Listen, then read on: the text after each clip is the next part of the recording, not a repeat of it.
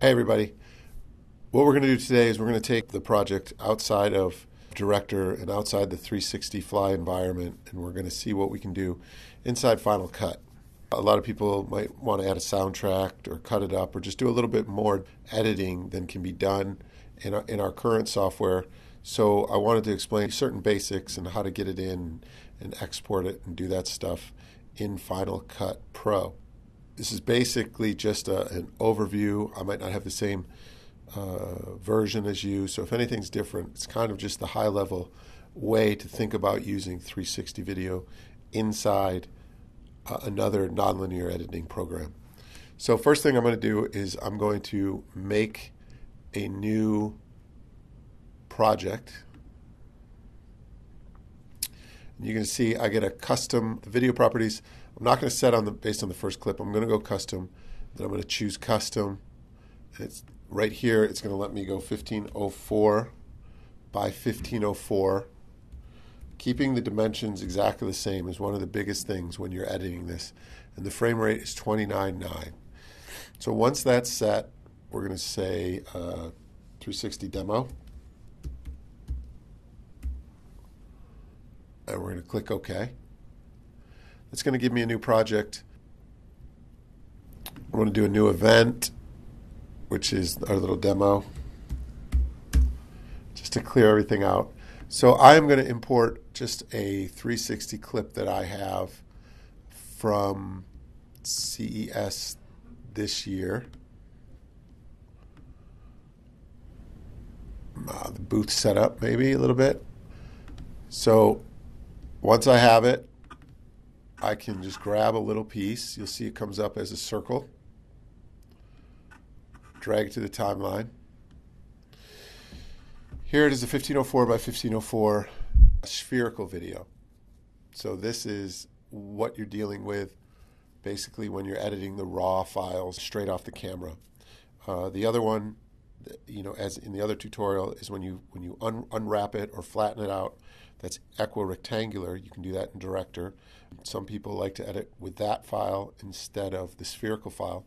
But with whatever file you do edit in a nonlinear editor, you will have to add metadata to it. There's two ways to do that to either bring it back into Director if it's spherical, or if it's equirectangular, you can use the YouTube metadata tool at the very end to, to put the data back into it.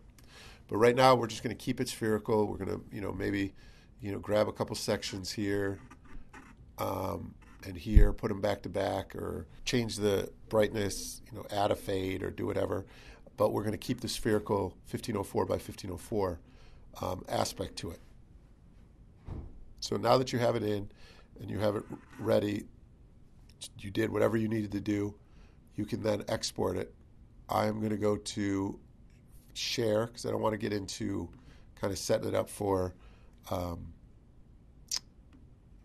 compressor right now, but you, the same things apply as long as you keep certain things the same. You have to make sure that it's a 1504 by 1504. It's 29.9 frames per second. And then in the settings tab, make sure it's an H264. Um, and then go ahead, name it 360 demo. I'll show you where that comes out once it's done on my desktop.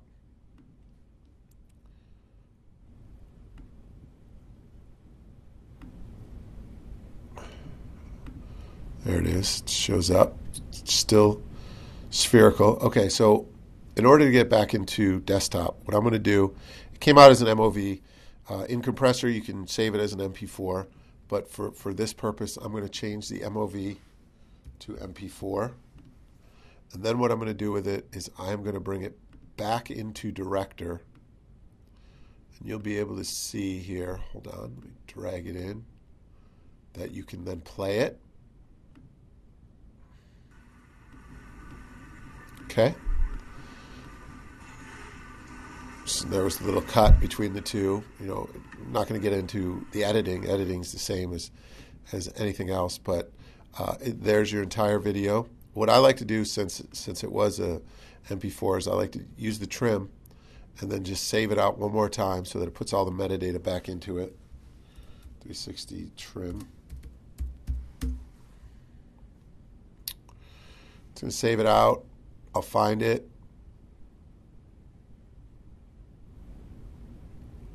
Here.